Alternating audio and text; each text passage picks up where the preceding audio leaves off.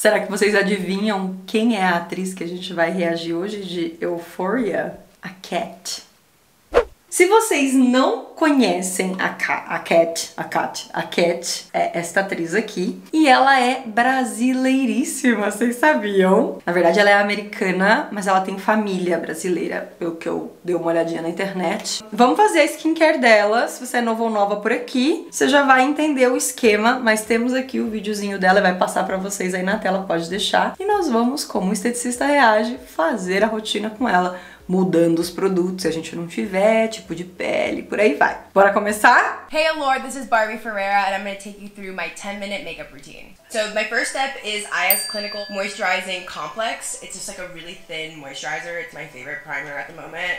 Ela já começou com hidratante, então ela já lavou a pele. Nós vamos lavar aqui com água, aquele esquema que vocês já sabem. Só passei hidratante para dormir, por isso vou lavar só com água gelada. E ela passou um hidratante bem pesado que ela usa tipo primer para maquiagem. O que, que a gente vai fazer?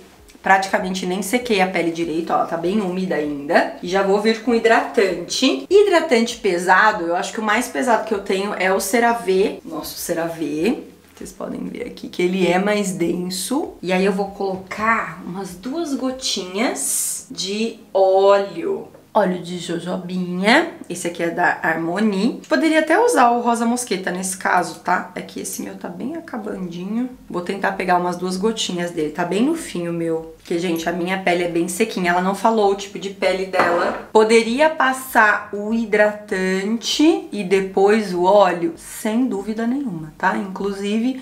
Para permeabilidade, eu gosto mais de fazer dessa forma. Mas eu tô tentando imitar aqui um hidratante pesado. Por isso que eu fiz desse jeito, tá? Ele já ficou bem mais denso. E aí a gente vai para a próxima etapa. My second step is gonna be a lip balm. Ele é super hidratante. Dura uma eternidade esse produto, gente, porque ele é grande, né? Isso é uma ótima dica para você que tem lábios ressecados, rachadinhos, gosta de passar batom mate. I'm gonna use this NARS concealer. I'm gonna put it actually all over my eye.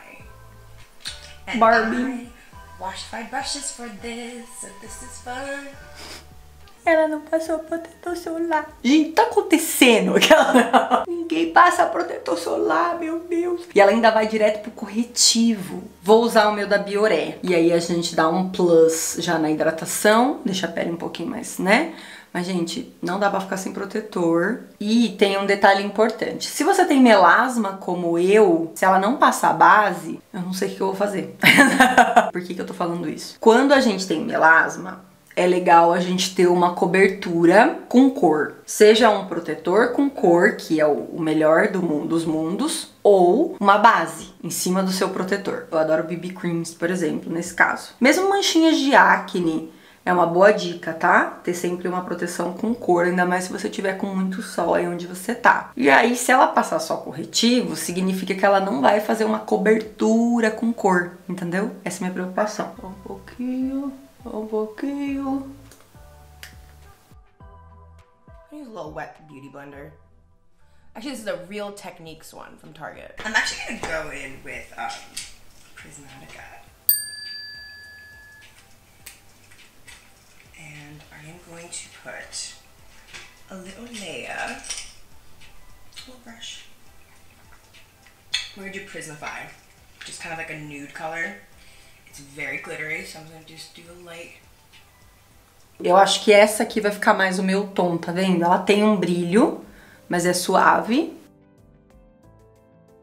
Eu acho que a intenção é ser uma coisa mais cor de pele mesmo, né? Então, pelo jeito, talvez tenha ficado certo. Brilhante ficou? Claro que não. Oh, fantasy palette.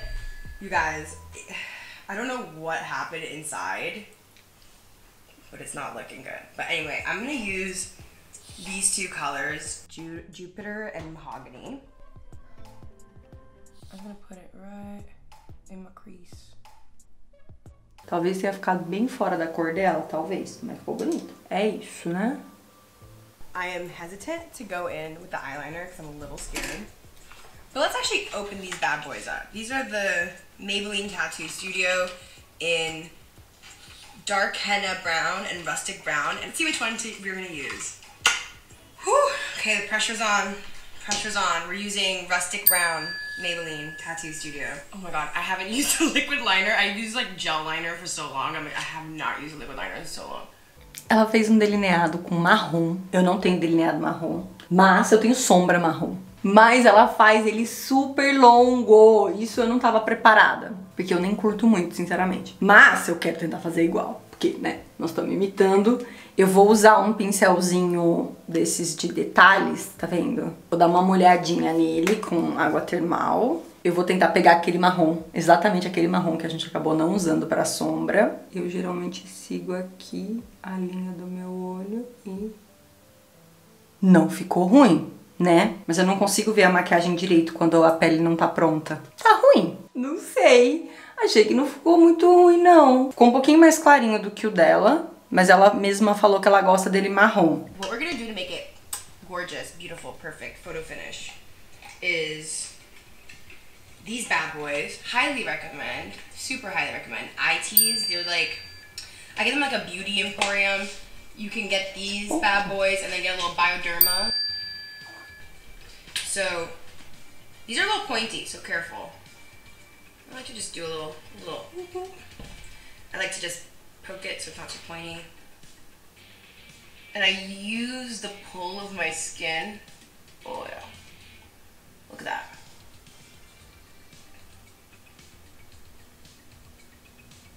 If it looks okay and it doesn't look too bad, don't go in again. Pro tip. So, Uma coisa muito legal que aconteceu agora, eu acho que eu consigo agregar como esteticista, então foi legal, assim. Ela usou um cotonete, que agora todo mundo quer. eu fiquei levemente curiosa com o cotonete, porque vocês viram que ele é de pontinha. Eu nem uso muito cotonete, tá, gente? Cotonete na minha casa dura anos. Olha que interessante. Ela usou água micelar para limpar, principalmente porque o aqui, né, a gente não vai ficar esfregando e tal. Mas se você tem tendência a ter o canto, olhos, nariz, boca sensível, tome cuidado com a água micelar tá bom? Porque deixando ela ali pode, de certa forma, sensibilizar um pouquinho. Caso você se pergunte, mas tá, tem água micelar que fala que não tem problema deixar. E realmente, meio que não tem problema, mas talvez é, você precise passar uma aguinha depois e passar um hidratante. Até essa é uma dica possível, ó. você poderia molhar ele no hidratante e tentar fazer essa mesma técnica. Eu acho que eu tirei um pouco de um lado. I I love like a little inner corner. Like that is just my go-to always. And I like this because it's like not super white. It's kind of almost blue. It's cute. Just a little. I might add just a teeny bit under my brow too. Ooh.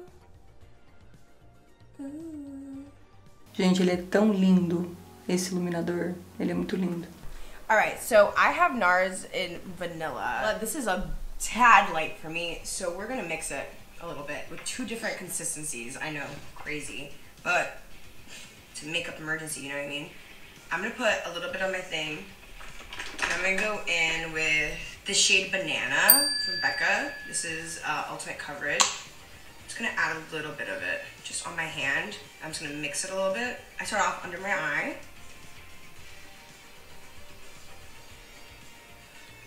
I like to go pretty light on things like this, so you know, one is pretty good. Ooh, it's still a little light, but it's okay. We'll mix it. We'll mix that. you know, it's like baking or whatever. Deu certo? All right, so we're gonna go with foundation. Ultimate coverage, Becca Cosmetics. This is a great foundation. We're gonna mix a couple of shades, just because my shade right now is a little odd. So I'm gonna mix some cashmere and just one pump of vanilla. I want the least amount of product on that on that sponge, and I'm gonna use just one sponge full for my whole face. Eu vou misturar Nina e quem disse Berenice. Então vou colocar um pouquinho de cada. Vou tentar por pouquinho, porque como ela disse que ela só usa uma esponja, tá vendo? Caso vocês estejam se perguntando, Thalitinha, por causa do melasma, isso é pouca cobertura? É possível que seja, tá, gente? Mas como a gente já passou um tanto de corretivo, talvez a gente consiga uma camada um pouquinho maior de proteção. Eu sempre arrasto um pouquinho aqui pra não ficar uma máscara, sabe? Pra não ficar uma divisão. I usually don't like foundation, but it really does kind of bring everything together when it's like, you know, for an occasion. Um, and then I'm gonna use this contour stick. Oh, this contour stick. In Amber from Fenty Beauty. Ela veio com contorno em creme. A gente não tem. Tô pensando se eu tenho alguma coisa mais escura. Eu tenho um em pó só, gente, mas acho que em creme eu não tenho. I'm actually going to do my favorite method, which is putting it on my hand and then buffing it with the brush and then doing it on the face. You know, classic under the cheekbone, just your average contouring. You know, contour is really fun. I love it. Next step is going to be blush. And I'm using Sunny's face in Raz. This is this is so cute. This can get a little pigmented, so I'm gonna do a little brushy. And then a little on the nose. It's making me cute. Vai passar de We're gonna go back to the. Prismatica palette because I'm gonna use um, what's her name, Prismify once more, and we're gonna, with our fingers, on. Gente, olha esse iluminador. Cara, ela passou um iluminador muito potente. E a gente tem uma coisa parecida aqui. Acho que eu nunca mostrei isso pra vocês da Inglot. É um investimento que eu fiz há um, um tempo já. É, eles fizeram uma linha com a Jennifer Lopes. E ele é um negócio... Dava pra usar esse da Ruby Rose, da paleta, que eu acho que chegava. Mas, gente, olha isso aqui. Mas o dela é muito brilhante, ela foi com o dedo, então eu vou tentar fazer a mesma coisa. A única coisa que eu acho que às vezes é meio problemático desse tipo de iluminador é que eu acho que eles, o tamanho do brilho é muito grande. Gente, achei que ele ficou um pouco marcado, mas assim, foi o que deu. Eu achei que ele tirou o produto de baixo, ficou amarronzado. Nossa senhora, como eu não gostei, meu Deus. Gente, fiz uma maracutaia aqui. Passei um pouco de corretivo de novo em cima que não é o ideal pra nossa pele, mas eu fiz isso porque ele ganhou uma mancha que ficou muito esquisito. E aí eu vou tentar depois passar o blush e o iluminador de novo com pincel, tá? Up next, um, I have the Milk Makeup. Ever so lightly, you guys. This is my eyebrows are pitch black, and this is like the only brow gel I've seen that has like the color of my eyebrow. It's in color Diesel. And then mascara. We're gonna go with the MAC False Lashes. Is my my favorite um, Ela não usou Curvex. Será que é por causa do tempo? Vocês sabem que eu amo Curvex, mas eu não vou passar. E aí a gente vai com esta daqui, que vocês já conhecem, já estão, né? Tipo, tá ali, a gente já sabe. E eu já volto. Depois do corretivo eu passei mais um pouquinho de blush. E aí eu fiz com um pincel iluminador. Sabe aqueles de leque? Isso aqui é da Real Techniques. E aí eu acho que fica um pouco melhor, apesar de eu gostar de iluminador mais leve, sabe? Eu acho que às vezes esses ficam muito intensos, assim. E o meu estilo é um pouquinho mais leve. I don't really like a harsh line or anything. I like to do that. And then it's like over my lip. Perfect. This is my look. Eu amo tanto esse lápis que eu já comprei ele umas cinco vezes, pra vocês terem uma ideia. Ele quase sempre tá fora de estoque, daqui com Milana. Acho que deu. Fiz só com lápis e achei que eu passei um pouquinho do tom do dela. Acho que o dela tinha ficado um pouquinho mais leve, mais natural, né? Inclusive, achei que os olhos dela ficaram um pouco mais marrons que o meu, um marrom mais fechado. Acabou sendo um tom, ficou um pouco diferente, mas o conceito é muito parecido. Quero dar uma dica pra vocês de pele, que eu acho que pode ajudar bastante se você gosta de se maquiar. Quando você usa óleo antes da sua maquiagem, você pode diminuir a chance dela craquelar. E protetores hidratantes também são muito bons. A única coisa é que às vezes quando a gente faz muitas camadas antes da maquiagem, a gente pode deixar a maquiagem um pouco pesada, um pouco desconfortável. E até se você tem, tem tendência a acne, pode não ser o ideal. Isso que eu fiz aqui funciona para a maioria das peles, mesmo com tendência a acne, tá bom? Desde que você use os produtos certos, produtos que normalmente são mais leves para você e funcionam melhor na sua pele. Como eu sei que vocês estão no inverno aí no Brasil, o óleo é muito bem-vindo, tá bom? Ele vai ajudar a proteger um pouco mais a sua pele e vai deixar sua maquiagem com glow, sabe? O pó aqui não tem problema, você poderia passar se você não gosta desse aspecto de base que marca mais, vamos dizer assim, né?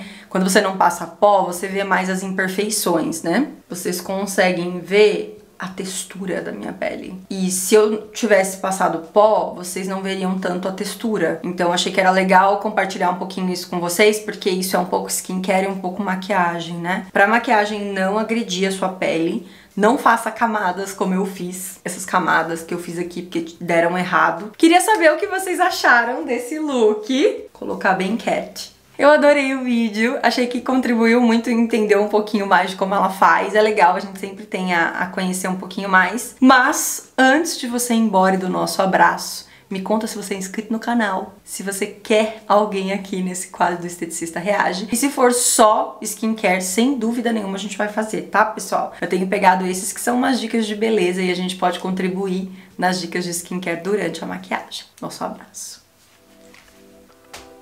Espero muito que vocês tenham gostado e te vejo no próximo. Todos os produtos estão listadinhos aqui pra vocês.